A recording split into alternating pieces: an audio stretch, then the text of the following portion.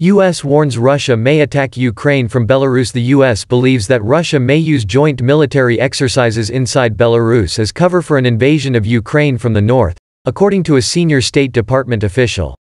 Why it matters. New deployments to the Belarus-Ukraine border in the coming weeks. In addition to the 100,000 Russian troops already encircling Ukraine from the north, east and south, could allow Russia to open up a new front less than 100 miles from the Ukrainian capital, Kyiv. It would also position Russian troops close to the borders of NATO members Poland, Lithuania and Latvia. What they're saying.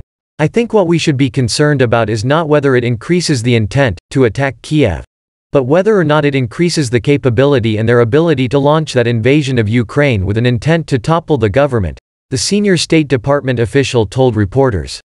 What I know about the Kremlin and what I know about President Putin is that he is an opportunist and he creates opportunities, the official stressed.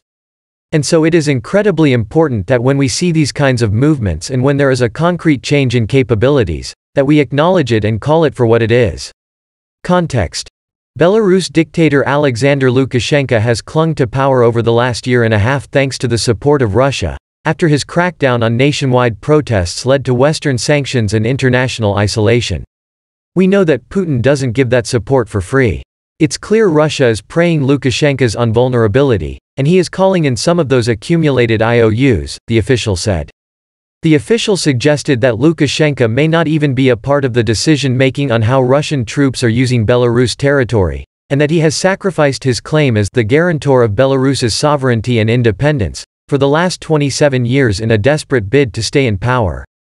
Russia continues to deny that it is planning to invade Ukraine while threatening unspecified action if the US and NATO don't agree to a set of demands, including ruling out NATO membership for Ukraine.